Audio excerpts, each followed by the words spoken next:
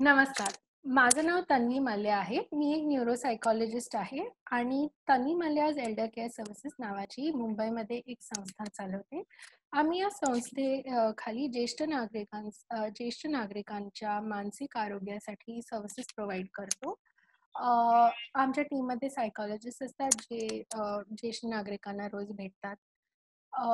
आताची परिस्थिती आपल्या सर्वांना माहीत आहे आणि खूप कठीण परिस्थिती आहे कारण कोविड नाईन्टीन सगळ्यात जास्त हानिकारक ही ज्येष्ठ नागरिकांना आहे, हे आपल्या सर्वांना माहीत आहे.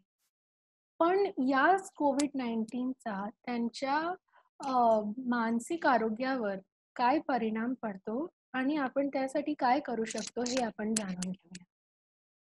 आपले आजी-आजोबा किंवा आपले आई-वडील हे रिटायरमेंट नंतर त्यांचा दिनक्रम आखून घेतात. कोविड-19 पासनं सेफ राहण्यासाठी लॉकडाऊन किंवा अ, फिजिकल डिस्टन्सिंग, विलगीकरण हेच हाच एक उपाय आहे. पण या विलगीकरणामुळे त्यांच्या दिनक्रमावर परिणाम झाला आहे. ज्या गोष्टी ते आधी करायच्या म्हणजे जसं मॉर्निंग वॉकला जाणं किंवा योगा करणं किंवा क्लबला जाणं किंवा मित्रांसोबत बाहेर जाणं किंवा किटी पार्टीला जाणं किंवा त्यांचे नातवंड, मुलं, फॅमिली जे घर मित्र जे घरी येऊन भेटायचे, ते सर्व काही आता बंद झालेलं आहे.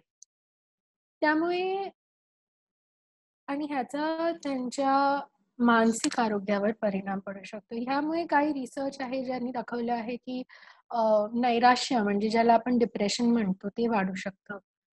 चिंता विकार म्हणजे एन्झायटी ही वाढू शकते. जर माणसाला ऑलरेडी अल्झायमर्स किंवा डिमेन्शिया किंवा पार्किन्सन्स किंवा स्ट्रोकची हिस्ट्री असेल, तर त्याचे सिमटम्स अजून वाढू शकतात. त्यामुळे आपण काय करायचं? कारण आता त्यांना बाहेर जायला तर देऊ शकत नाही. पण आपल्याला त्यांच्या मानसिक आरोग्याचे रक्षण करणं पण गरजेचे आहे. तर काही सोप्या टिप्स. एक तुम्ही तुमच्या आई-वडिलांना किंवा आजी-आजोबांना रेग्युलरली कॉल करा.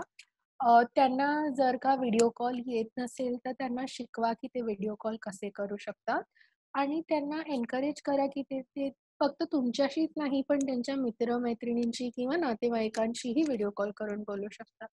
जर का एकत्र येऊन तुम्ही व्हिडिओ कॉलवर आर्ट किंवा गाणी म्हटली किंवा रेसिपीज एक्सचेंज केल्या, तेही होऊ शकतं. त्यांना एनकरेज करा, की जे जर त्यांची कोणती हॉबीज असतील, ते त्याला जोपासू शकतात यावेळी. म्हणजे जर पेंटिंग असेल किंवा लिखाण असेल, ते ते करू शकतात. न्यूज बघितल्याने चिंता, विकार किंवा डिप्रेशन वाढू शकतं आणि परत-परत कॉन्स्टंटली सतत न्यूज बघत राहिल्याने ते आपल्या सर्वांना होऊ शकतं, फक्त ज्येष्ठ नागरिकांना नाही. त्यामुळे जर जेव्हा तुम्ही तुमच्या आई-वडिलांशी बोलाल, तेव्हा कोरोनाबद्दल ट्राय करा, की बोलू नका. इतर काही ज्याला आम्ही म्हणतो रिअश्युरिंग किंवा त्यांना आश्वासक अशा बातम्या त्यांना सांगा. कारण कोरोनाबद्दल सतत बातम्या बघून त्यांना भीती होऊ शक भीती वाटू शकते किंवा त्यांची चिंता वाढू शकते. तर ती कशी दूर करायची हे विचार करा. आणि मेन म्हणजे जर त्यांचं ज्येष्ठ नागरिकांसाठी त्यांचा जो दिनक्रम असतो, तो खूप गरजेचा असतो.